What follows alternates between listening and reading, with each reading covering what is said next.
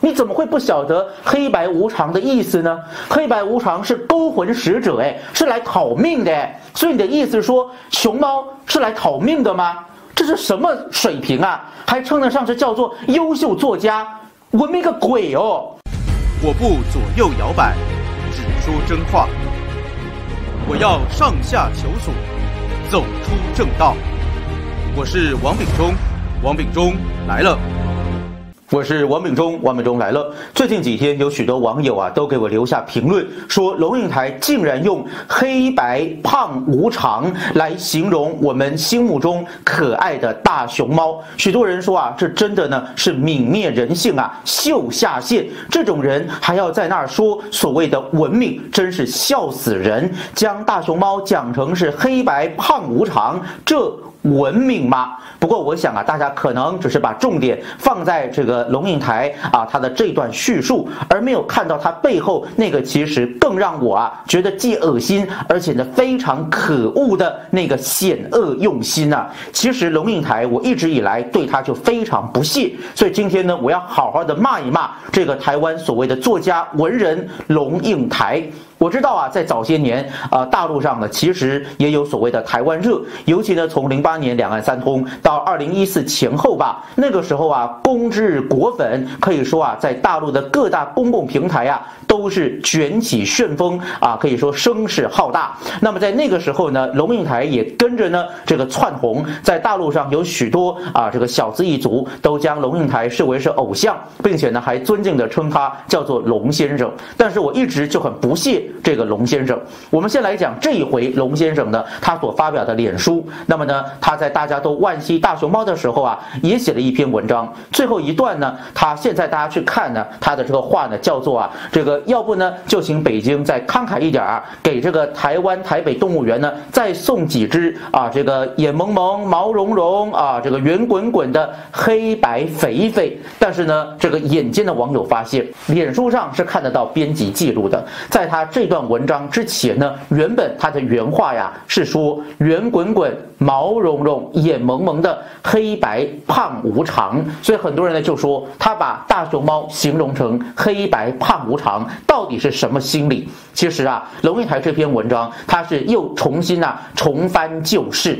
当大家呢在那里回忆这个大熊猫所代表的那一段两岸春暖花开的岁月，龙应台呢他也回忆起在二零零六年这个当时大陆。宣布将团团圆圆送来台湾的那一年，当时呢，他写了一篇文章，叫做“所谓请用文明来说服我”。我想很多人都还记得这篇文章啊，包括很有名的啊，叫做呢“不要大国崛起，只要小民尊严”。那么通篇讲来讲去呢，说是给当时大陆领导人的公开信，其实啊，就是指责说你大陆不文明，说啊，这不是统派独派的问题，也不是团团圆圆的问题，而是文明与野蛮的问题。呀，就是要你大陆呢，必须要听他说。你要想要争取台湾的民心，你就必须要有文明啊！不要再去呢，整天只扯团团圆圆啊，诉诸两岸一家亲，那是没有用的。这不是统独的问题，不是我们到底是不是中国人的问题，而是你大陆不文明的问题。那到底怎样叫文明呢？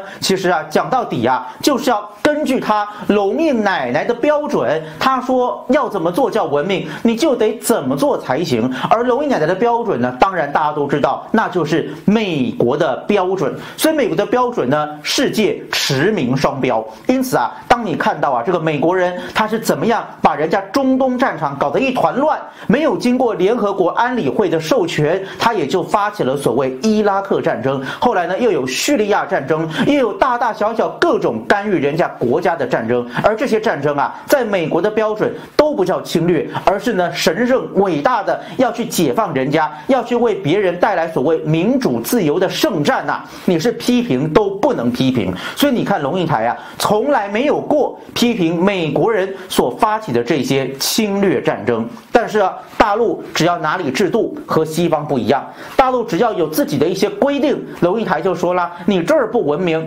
那儿不文明。”我就觉得很奇怪呀，你美国人呢动不动干预别人，结果呢你们这些酸腐文人都能够接受，还。称颂说这叫民主自由。那么咱们大陆底子没你西方厚，可以吧？我们有十四亿人要安居乐业，我们经不起一场一场的选举就要分裂社会。我们有我们自己的发展道路，这难道不也是一种人权吗？为什么就一定要跟着你西方，跟你美国走呢？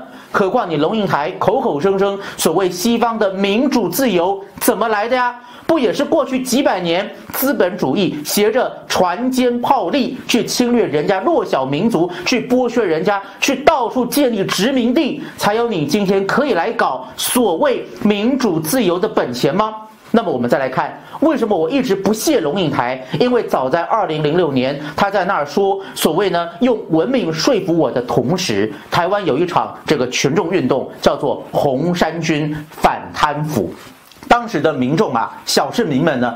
受不了陈水扁一家的贪腐，受不了陈水扁可以厚颜无耻到明明贪腐被抓到了，还可以继续恋战权位，不自己请辞下台，所以大家高喊着阿扁下台，掀起了一波完全和平、理性、非暴力的群众运动。结果呢，当时啊，这个运动都还没有开始呢，只是在宣布说希望大家一起集结来包围陈水扁当时他的办公室，也就。就是在台北的所谓总统府的时候，我们就看到龙应台，他急着呀，立即跳出来说：“哎呀，你们呐，千万要小心呐！民主的正道不是通过群众运动来解决问题的呀！我们好不容易进入了民主啊，千万不能这样不文明啊！”我觉得莫名其妙哎，你们不是天天讲群众运动是所谓的权利吗？就当大家真的起来集会游行抗议陈水扁，你龙应台比谁都还急出来说你们这样是违反民主，是不文明。那好了，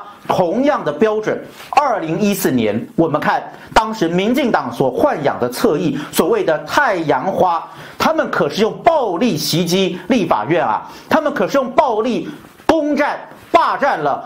人民一票一票选出来的立法委员，他们上班开议的立法院议场，请问当时的龙应台还坐着马英九当局的高官，是所谓当时台湾的文化部部长，你跑到哪儿去了？你怎么不出来讲话呢？你怎么不出来说你们这些挟着暴力民粹是破坏民主法治呢？结果乖乖的一个屁都不敢放，一句话。都不吭声，所以我看透了龙应台这种矫情、这种虚伪。那么后来你再看香港发生乱港风波，在二零一九年，那么大批的这些黑衣人、黑豹青把香港搞成什么样？各种的打砸抢，甚至呢还一言不合，因为对方的意见跟他们不一样，人家不赞成你们这种暴力抗议的方式，结果呢还有被包围甚至死亡的香港市民。结果龙应台说什么？我从头到尾，我就盯着这个文明的龙应台，我一直看他什么时候才要出来讲话。尤其龙应台常年在香港写作，他应该发声，应该说句话呀。你怎么看香港这种乱象呢？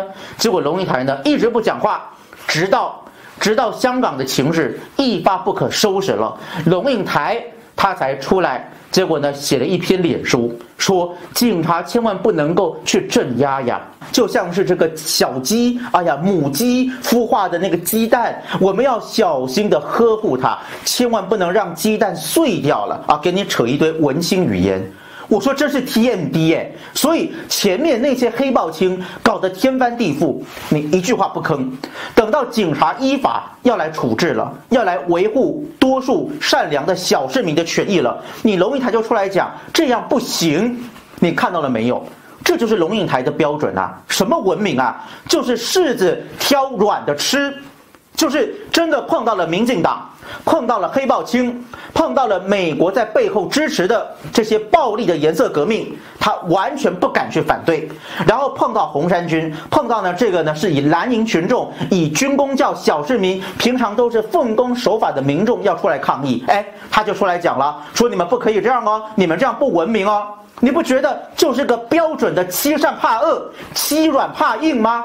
所以我真的非常不屑今天龙应台再在这里指指点点，然后最后还留了一段话。说，哎呀，不管如何，对和平的向往，对文明的要求，大家都应该勇敢出来发声。所以呢，希望北京要慷慨一点，要继续赠送给台湾所谓“黑白胖无常”，最后可能被网友呢围攻啊，被骂了，才有把它改掉啊，改成叫做“黑白肥肥”。我就说啊，今天会把大熊猫比喻成黑白胖无常，你说这能文明到哪去啊？我们先不管他是不是故意的在酸，他是不是故意将他对大陆的仇恨嫁接在熊猫身上？就算是他不小心写错好了，你作为一个作家，你怎么会不晓得黑白无常的意思呢？黑白无常是勾魂使者，哎，是来讨命的。所以你的意思说熊猫是来讨命的吗？这是什么水平啊？还称得上是叫做优秀作家？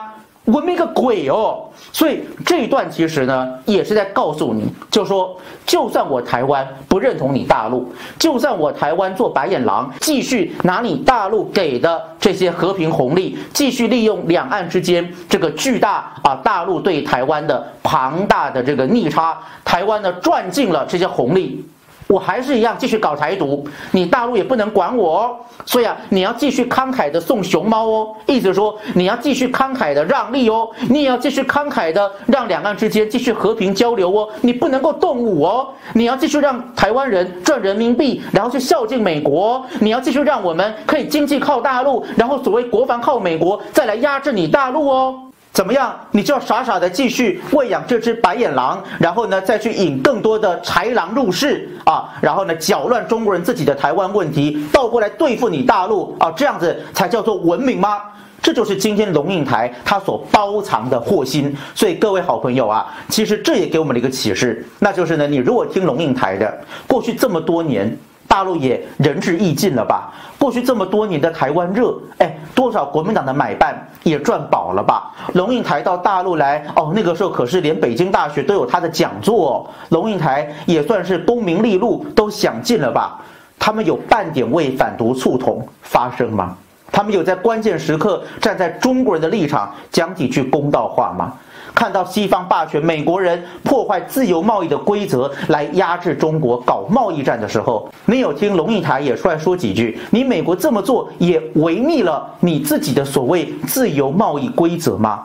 没有，一点都没有。所以今天龙应台对大熊猫之死所做的这个表达，除了黑白胖无常令人发指外，其实也提醒了我们。对这些白眼狼，千万不要再做火山孝子。佛祖说法，如果只有温柔面，永远菩萨低眉，是不可能降服众魔君。仍然需要有护法金刚，金刚怒目，才能降妖除魔，才能保护真正善良的百姓。